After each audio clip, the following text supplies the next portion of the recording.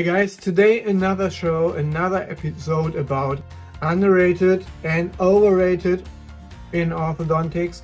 And the topic now is indirect bonding.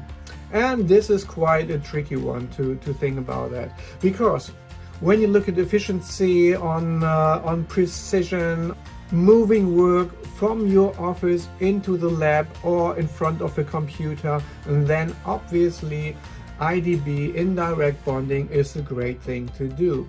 The problem is that it's still not working that well for the most of us, even though that many of us now invested in 3D printing and everything, and I do that myself. And I try to force this because I think it's the future, and it will be so much better if we could make IDB to the standard procedure that we use in all our clinics but it's still not as good as we think it could be.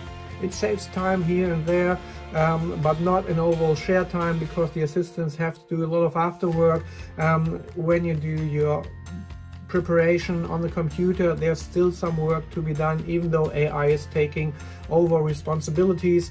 And from that point of view, it's quite hard. And I would say just now it's still a little bit overrated, but I think we should invest more time, more thinking in it to improve it really fast because I think it's underrated.